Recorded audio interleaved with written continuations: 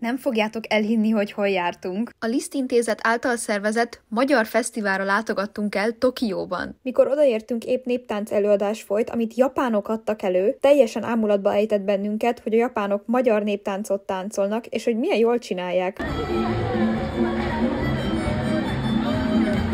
Majd körbenéztünk a helyszínen, ahol különféle magyar dolgokat árultak, mint például kürtös kalácsot, mézet, pálinkát, bort, mézes kalácsot, kézműves kerámia termékeket és egyebeket. Itt Japánban már kezdtek hiányozni az otthoni ízek, úgyhogy kiálltuk ezt a hosszú sort, Hanna és Flóra egy lángost, én pedig egy gulyáslevest választottam. Még ha nem is volt a gulyásleves és a lángos pont olyan, mint otthon, nagyon jól esett, és a magyar ízvilágot azért hozták. Majd tovább néztük az előadásokat, Magyarországról több zenekart, illetve előadót is idehívtak, még komondorok is voltak. Majd fellépett egy japán gyerekkórus is, akik magyar kokárdát viseltek, és japán és magyar dalokat énekeltek és táncoltak.